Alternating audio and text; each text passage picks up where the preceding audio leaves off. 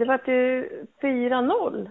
Härliga siffror, men hur såg matchen ut då, den här mot Arboga? Vi dominerade den här matchen ganska kraftigt kan jag tycka. Från start till mål egentligen.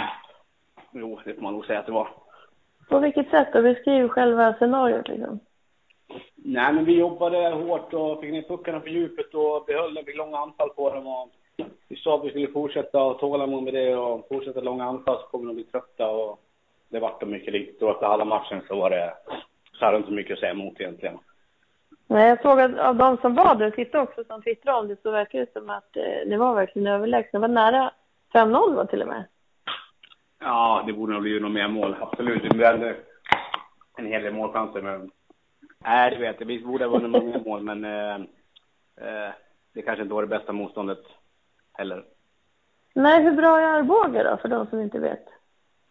Ja, jag vet inte heller. Som sagt, eh, jag har jättedålig koll på, på hur eh, bra och dåliga lagen i division 1 är. Så det är svårt för mig att säga.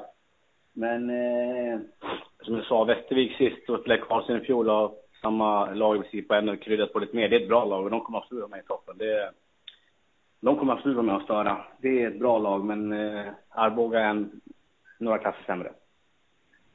Hörru, vad, nu vann, ju, du, vann ni ju och det är ju kul sådär, men det är ju oftast inte det som är det viktigaste på försäsongen, utan det är ju att man får saker att funka sådär. Vad var det ni hade för fokus i den här matchen? Som ni skulle köra lite extra på? Eh, vi hade väl lite fokustema på att eh, framförallt behålla pucken, vara rädd om pucken, hålla pucken inom laget och inte kasta bort och ge bort så mycket puckar som vi gjorde de andra matcherna. Vilket var, var betydligt bättre idag. Och sen bedömningar på när vi ska fortsätta eller sätta press och sådär. Det var väl det. Men nu vart det väldigt mycket att vi hade väldigt mycket puck och de fick jobba i egen zon och de var trötta. De hade två skott på mål sista perioden så liksom det, de fick slita hårt i försvaret och vi jobbade ganska bra där, höll i pucken ganska mycket så det var, det var väl helt okej. Okay. Känns det som att man får ut någonting av en sån här träningsmatch då, när motståndet är så mycket sämre? Ja, men absolut. Matcher är matcher liksom... Vad jag har förstått så kommer väl en hel del matcher kunna se ut något liknande. Liksom. Du kommer möta Arbo är ett skridskoskickligt lag och åkstarkt och jobbar och sliter och det kommer alla lag göra mot oss och det måste vi kunna hantera och det tycker jag vi gjorde ganska bra idag och det är klart att alla matcher kommer ge oss mycket. Vi är ett helt nytt lag och vi lär känna varandra mer och mer varje dag som går så, och träna på det vi ska göra där ute så det är absolut nyttigt. Ja, det här var ju bara tredje träningsmatchen. Hur, hur känner du om du bara ska se på ert lag eh, generellt? Hur långt har ni kommit egentligen i att bygga ihop er till ett lag? Men som jag säger, vi, som jag sa, vi är ett helt nytt lag och vi har inte ens eh, börjat träna ihop eh, femmer och kedjor och sådär, backpar överhuvudtaget. Vi har ju i princip inte tränat något powerplay så, men vi, vi har inte kommit så jättelångt egentligen. Vi, eh, det vi har fokuserat på är ju hur vi ska spela vårt försvarsspel och lite uppspel och menar, grunderna egentligen. Och det är det vi jobbar på nu och sen så får man ju spetsa till det sen när man, när Matte och Martin hittar femmer och backpar som passar ihop med varandra och sådär. Så då blir det ju bättre liksom man får hitta lite kemi och man får liksom prata med varandra. Så här gör vi och så här gör vi inte och man hjälper varandra. Nu blir det liksom att ja, alla lirar och man försöker i bästa situationen och visa upp sig och göra systemet så bra vi kan. Så nej, vi, vi är en bit på väg, men eh, resan kommer bli lång. Är det stor skillnad för dig då, som kommer ändå från Mora som har varit ett stabilt lag i Hockeyallsvenskan?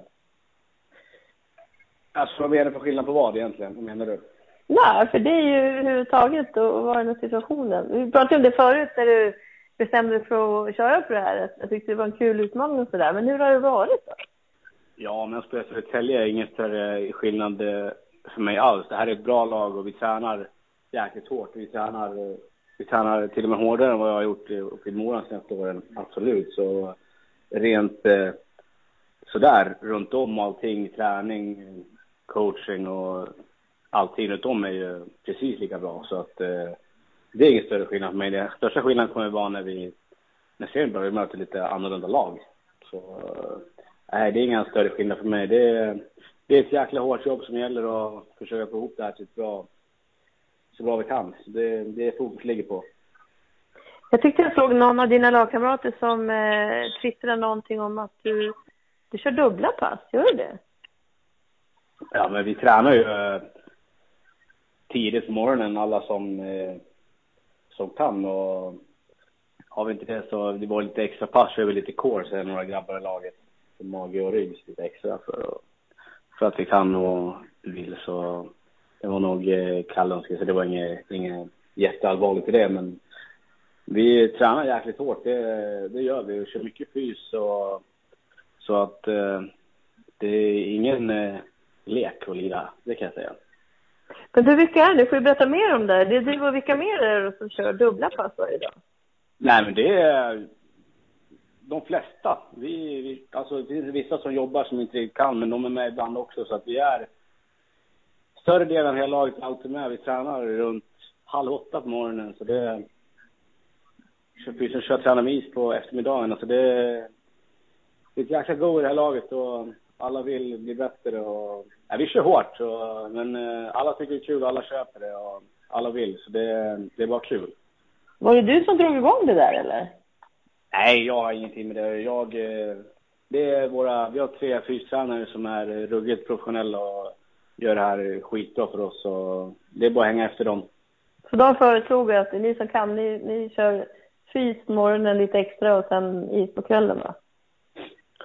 Ja, föreslog, föreslog. De som... Eh, vi vill ju, de som ni måste? ja, men vi vill ju... Men ska vi tävla om och om man får upp en serie till så måste vi ju bete oss som, även fast vi inte är proffs så måste vi kunna försöka bete oss och leva efter det så gott det går. Sen är vi ett, ett division 1-lag och man får liksom pussla lite grann sådär men vill man någonting så måste man eh, träna därefter också. Det, det är ingen som har klagat eller gnällt än. Det, det är ett jävla hårt jobb och det, det är härligt att se. Ni hade ju någon monsterbacke här i fredags också, tror jag var. Ja, Eller, ja, för någon dag sedan var det i alla fall. Multibana kallas det. Det är lite halv eh, otrevligt ställe att vara på, men det, det är samma sak där. Det är bara stoppa huvudet armen och köra. Det, det Hur gick det för dig där då? Nej, men det går bra. Det, det, det är jobbigt, men liksom eh, det ska det vara liksom. Det, så man blir bättre tränad, då får man får smaka lite blod i munnen liksom. Det, så funkar det. Men berätta mer om den banan. Jag, jag såg, jag tror det var Brattenberg där som skrev att eh, Fredrik Weigel hade väl sagt någonting till mig att jag tar täten med din, din grabbar ni försöker hinna på, för jag drar iväg för det. Var det så? Ja, men eh, Vagge är ju den som absolut är bäst på att springa. Så att, eh, det så han tog täten och försvann, eller? Ja, ska man hänga på där då kan man lätt gå in i väggen. Så att, eh, nej, men Vagge är jäkligt duktig på att springa så att eh, man ska nog inte ge sig in och följa med han så mycket man kan i alla fall. Men vad näst bäst där då på att springa? Ja, Jakob Wallin är också jäkligt duktig att springa, så det är de, de där framme som eh, far iväg först. Vad var roligast på den där banan då? Om det fanns något roligt eller var det bara hemskt? Hemskt roligt liksom. Det, vi fick simma, eller vi ja. Det, vi simmade lite på den här turen också så att eh, det, är, det är massa grejer där. Det är lite backar och det är lite stänger och det är lite, det är lite, lite, ja men det är roligt också. Jag måste bara nämna två saker från dagens match här innan vi slutar. Jag såg att du gjorde ditt första mål för säsongen här.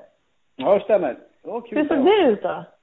Nej, jag fick en eh, kanonmacka och bli så det var egentligen bara att skjuta så det var inte så svårt. Det var Tegga och Blidens eh, förarbete som, som var det fina i det målet. Ja, vad säger du om din kedja där? Det verkar som ni hittar varandra ganska bra, va? Det är du, Blid och vem var den tredje nu? Tegel. Mm. Eh, jo, men eh, jag har inte spelat ihop så jättemycket träning heller, men eh, på matcher så, även med träningen vi haft innan, så tycker jag att vi har en, en ganska fin kemi, så um, jag vet inte vad våra tränare tycker, men eh, jag hoppas att vi kan få någon mer chans, för det, det kändes ganska bra faktiskt. Sen måste man ju nämna att ni hade en 16-åring i mål som höll eh, nollan också. Ja, han var strålande, så det var kul för honom. Jätteroligt. Filip Eriksson heter han. Höll eh, nollan som sagt och räddade 18 skott sådär. Nu kanske han inte fick så jättemycket på sig, men det kan ju å andra sidan vara de svåra matcherna om man ju förstått med målvakterna sådär. Jo då, men han gjorde några riktigt fina räddningar också. Det var inte så att, vi, att han inte fick något skott på sig. Det var några riktigt bra räddningar. De hade ju en tre, fyra powerplay också. Så nej, han gjorde det jättebra och ska all cred för det. Det är kul att Ingrid kommer upp och visar upp sig. Vem tror du annars? Är det Stalin eller Brattenberger som kommer vara den som står eh, flest matcher i början i alla fall? Oj, jag har ingen aning. Det där kommer bli en stenhård kamp. Det är två ruggigt bra målvakter så det kommer bli eh, angenäma problem för våra tränare att välja vem som ska stå där. Och så skönt att veta att man har en tredje som flåser med nacken, eller hur? Ja, eller hur? Absolut. Det är lysande.